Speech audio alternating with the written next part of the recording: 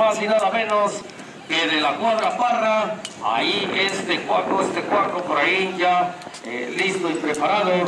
Juan Palazán por ahí ya, eh, por ahí también. Eh, enseguida, señores, señores, esta es la presencia más y nada menos que la lobita de la cuadra Rancho Viejo. Así es que, señores, señores, agárrate, Mario, por ahí. Este chip anda, pero que qué bárbaro, anda desesperado.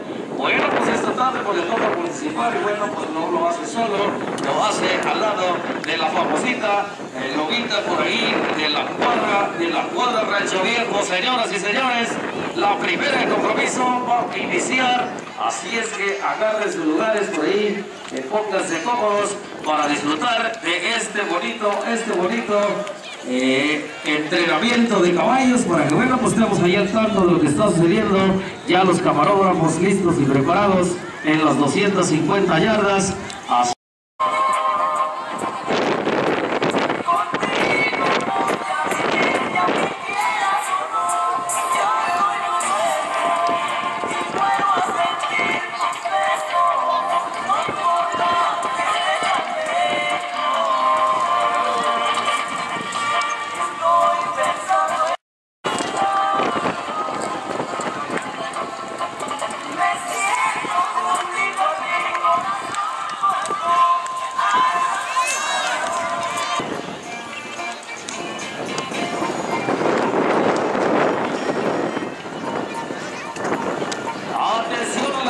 señoras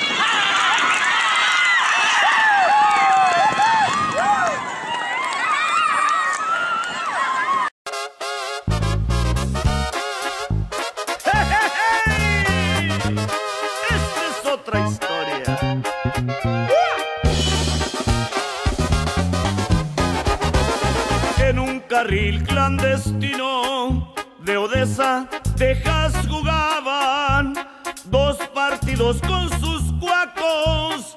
El honor se disputaban. Aquella tarde la gente de todas partes llegaba. La cuadra tres animales estaba muy favorita. El invasor ya trayectoria invicta. Era un alazán muy fino y muy veloz en la pista. Llegó un alazán dorado de la cuadra carpintero. El coronel le decían, traía fama de ligero. Su dueño Alfredo Terrazas y Lorena iban Ya habían medido las yardas, 220 serían. El invasor daba faja, o claro, si les pedían. Alfredo trae efectivo, Lorena cheques traía. ¡Uy, uy, uy!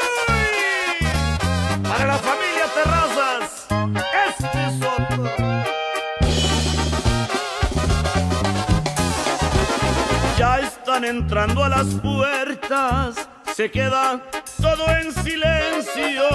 Joel Aranda en las riendas, del invasor se iba riendo. Ya entró Lupito Rodríguez, el corona iba por dentro. Contaron los tres segundos, se queda todo en silencio. A media tierra los iban parejos. El corona ya en la meta ganaba con el pescuezo. Lorena, Cristian y el Junior y Alfredo se retrataron. También Miguel Magallanes, que al caballo había entrenado. Lupe Rodríguez sonriente, con el brazo levantado.